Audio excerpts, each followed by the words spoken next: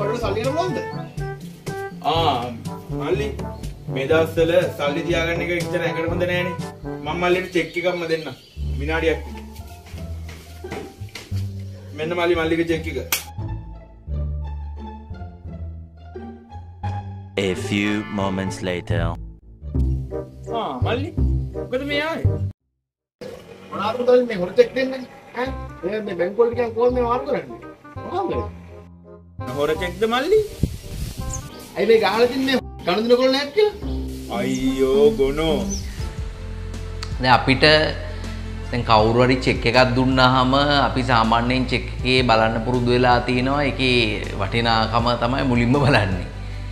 දැන් චෙක් එකක් අතට ආවම මේක එකපාරටම ගණදුණු කළ නොහැක කියලා වගන්තිය දැක්කාම සාමාන්‍ය කෙනෙක්ට එකපාරට හිතන මේ චෙක් එක අනිත් පැත්තට ගණදුණු කරන්න බෑ කියලා.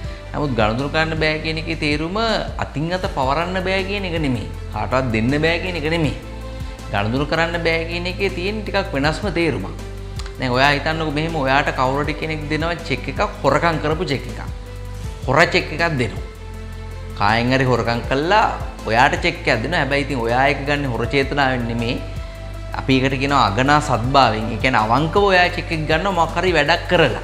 කාර්යයක් කරලා බඩු ටිකක් ගිහින් දාලා මොකක් හරි කාර්යයක් කරලා ඒකට ලැබෙන්න ඕන විදිහට චෙක් එකක් ගන්නවා. ඒත් ඔයාට ලැබිලා තියෙන හොර චෙක් එකක්.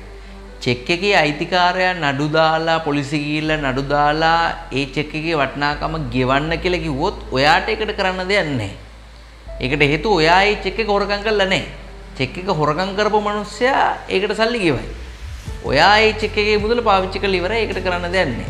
හැබැයි ගනුදෙනු කළ නොහැක කියන වගන්තියේ තියෙන චෙක් එකක් ගත්තොත් ඔය தත්ත්වය සම්පූර්ණයෙන් වෙනස්. ඒ කියන්නේ ඔයාට ලැබෙන්නේ පවරන්නාගේ අයිතියමයි. ඒ කියන්නේ පවරන්නාගේ අයිතිය කියලා කියන්නේ ඔයාට චෙක් එක දීපු එක්කෙනාගේ අයිතියමයි ඔයාට ලැබෙන්නේ. ඔයාට ඒක වෙන කෙනෙක්ට දෙන්න පුළුවන්. නමුත් පවරන්නාගේ අයිතියමයි ඔයාට ලැබෙන්නේ. ඒකේ තේරුම තමයි හොරකම් කරපු චෙක් එකක් ඔයා ගත්තොත් ඔයා මොන චේතනාවෙන් මොන අවංක චේතනාවෙන් ගත්තත් එතෙන්දි ඔයාට ලැබෙන්නේ හොර අයිතියක්ම තමයි. ඒ වගේ වෙලාවට පොලිසිය ගිහිල්ලා නඩු දාලා මොන හරි සිද්ධියක් වුණොත් ඒ වටිනාකම ගෙවන්න ඔයත් බැඳී සිටිනවා. ඔයාගෙන් පස්සේ ගත්ත අයත් බැඳී සිටිනවා. අන්න ඒක තමයි ගනුදෙනු කළ නොහැක කියන එකේ තේරුම වෙන්නේ. නැතුව චෙක් එක අතින් අත පවරන්න බෑ කියන එක නෙමෙයි. ඒ කියන්නේ ගනුදෙනු කළ නොහැක කියන චෙක් පතක් ගන්න එක්කෙනා ඊට කලින් එක්කෙනාගේ අයිතිය හොඳට තියනවද කියලා අනිවාර්යයෙන්ම බලන්න ඕනේ. ඒකයි ඒකේ තේරුම. ඒකින් සාමාන්‍ය මිනිසුන්ට අත්‍යවශ්‍ය වන මූලික දැනුමක් ඒක.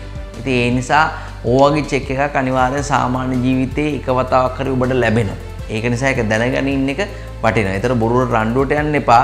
හරිද?